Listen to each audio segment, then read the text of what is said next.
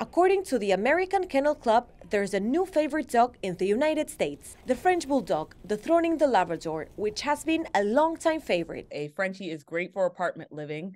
They are not a noisy breed. They actually need moderate exercise, just a little bit of walking, and you're good to go.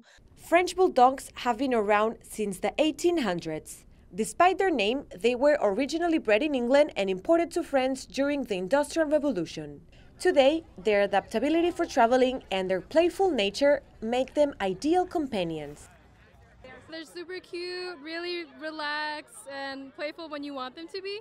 Oh, they're, they're, they're a really cool, chill dog, like relaxed dog. You know, um, very, very fun to have. But there is a downside to the breed's new popularity. Their increasing visibility and price, which can exceed $6,000, has made them a target for thieves who steal them and sell them on the black market.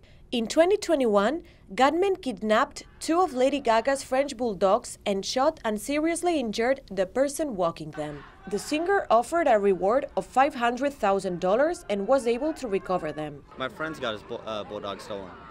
Yeah, yeah. gunpoint.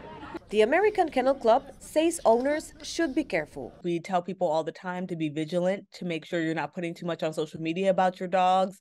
Try walking them at times where it's more highly trafficked, so you don't want to do too early in the morning or too late at night. Despite the potential headaches and even risks of owning any dog, experts say it's worth it.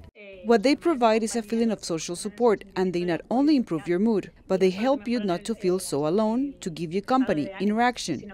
Knowing that, it's no surprise the American Society for the Prevention of Cruelty to Animals notes that nearly one in five American households adopted a pet during the COVID lockdowns, and 90% of the new pets were dogs.